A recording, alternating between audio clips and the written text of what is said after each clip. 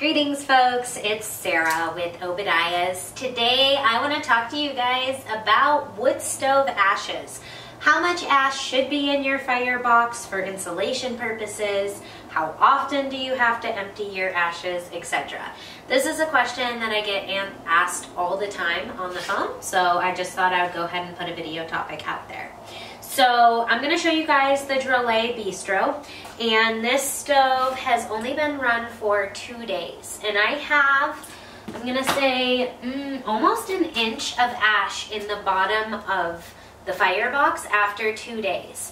Now, an inch of ash is actually about what you want in your firebox for insulation purposes because having a little bit of ash in there actually helps to get a little bit longer burn times, okay? So that's something to keep in mind um, when you're cleaning the firebox out or if you clean it out completely, you know, in approximately one to two days, you'll get that inch of ash you know, back in place. Although it really could vary and depending on the type of fuel that you're burning and what you're burning in there. So that ash in two days is from just plain dry wood.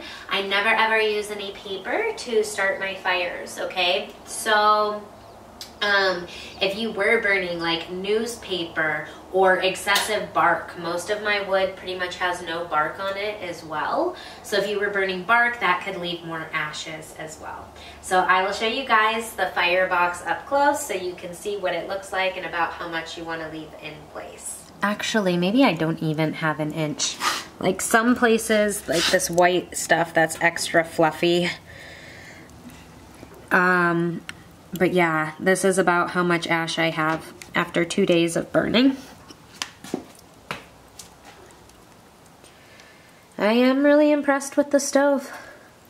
It burned really well. This mark around the door there is from the gasket. Um, when I first lit it up and got into my hot burn, the gasket sealed so tight it did leave a little bit of a mark there, um, but that's nice. That's a really good airtight door as you can see here on the latching mechanism.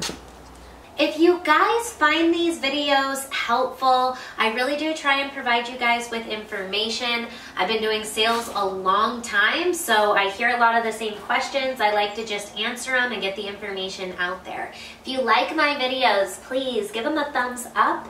Don't forget to click that subscribe button in the corner of the channel. Thanks so much for watching. Have a wonderful day.